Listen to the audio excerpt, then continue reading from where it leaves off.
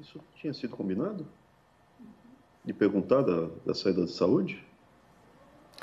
Ministro? É.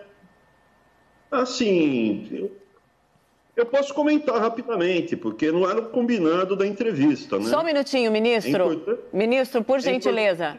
É, o senhor é um ministro, né? Tem uma relevância muito grande.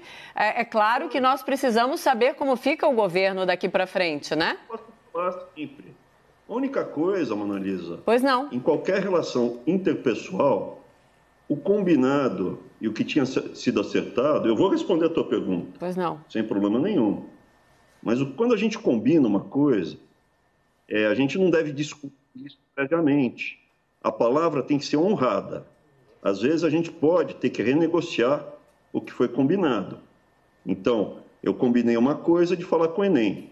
Vamos começar falando do Enem, vamos ver como evolui, e lá pelas tantas, a gente pode até fazer uma pergunta sobre como foi a mudança.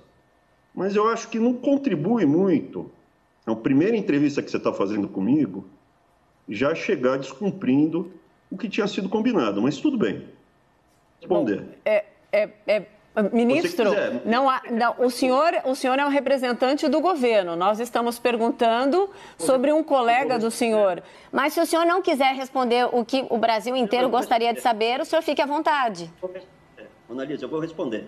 Pois eu não. Estou é, salientando que nesse processo, é, quando eu pedi, inclusive, para fazer a entrevista, eu pedi a Renata e pedi o Caio, porque eu não te conhecia. Eu sabia que a Renata e o Caio não fariam assim de sair da pergunta, seguiriam mais ou menos o que tinha sido combinado. O senhor então, fique assim, à vontade, ministro. O senhor não gostaria de falar conosco? Se o não, senhor não quiser, falar. não tem problema algum, ministro. Nós cancelamos a entrevista. Você se você, se você me permitir terminar a entrevista, eu agradeço. Não entendi o que o senhor eu falou? Se você deixar eu terminar de falar, eu agradeço. Pois não, ministro, nós estamos juntos. Eu quero dizer para o senhor, eu quero dizer para o senhor que nós estamos todo ouvidos.